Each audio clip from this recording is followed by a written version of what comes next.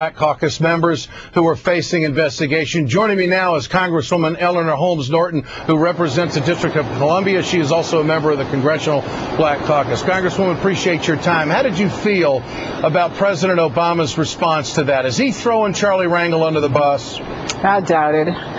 Uh, I, I, hope that the president is doing what most Americans do. I uh, looked at uh, what has come out, and it's called a statement of allegations. And if you believe that allegations uh, should run their course for the average person, I guess you ought to believe that for the average member of Congress as well. Do you so, think? Do you think Charles Rangel should step aside and not go I'm through this trial? You just heard what I said.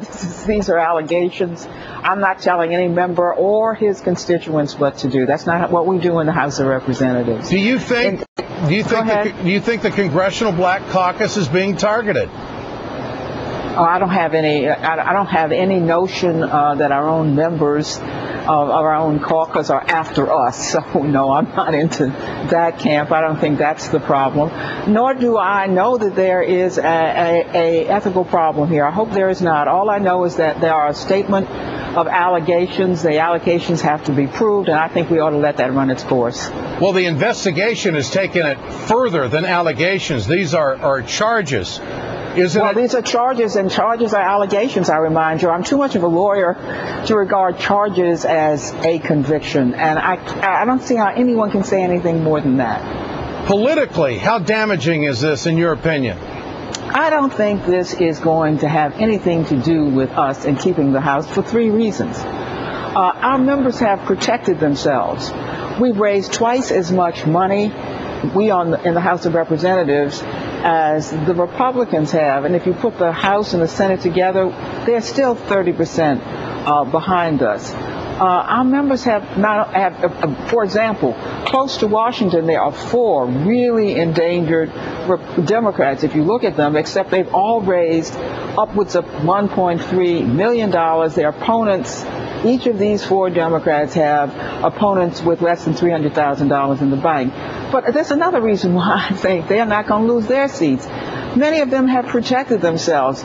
Progressive Democrat though I am, I understood why they voted against all the controversial yeah. issues. They voted against health care, stimulus, TARP, you name it. So they protected themselves. So I say to their constituents, hey, what's to vote against? And the third reason is that the House is a eminently district by district place. That's why so many of us get reelected. But People pay attention but, to their districts, and that seems to do it for us. Okay, uh, district, uh, 99% of the time. District by district, uh, uh, certainly that is the, the case. But after the Speaker has gone on record about draining the swamp, and then now two of the most visible people in the Congress are facing ethics allegations. How can that not affect the election in some in, in some areas when you know the Republicans are going to be using it back home? Yeah, and we're going to be fighting back. Look, uh, I, I got to ask you, just what is it? Ten days after the Shirley Sherrod debacle, you want to judge these members before this has run its course? If we didn't learn anything from Shirley Sherrod, uh, uh, a terrible terrible uh, experience. It's that don't don't go around well, judging well, people until you what the evidence if is. If I may respectfully respond to that, I, personally, I think there's a hell of a difference between Andrew Breitbart and an ethics investigation in the Congress because if the ethics committee is at the level of an Andrew Breitbart, we got some serious problems in the Congress. The word and, is if, and the if is if these allegations prove to be true, then you ought to ask me the question you just asked well, me, not I, before. I, well, no, I, I, think I can ask it because I think that Charlie Rangel no, you're asking and, and, and also Barbara, uh, the, Congressman, Congresswoman Waters, they've been around long enough to know right and wrong. Would you? Can you agree on that?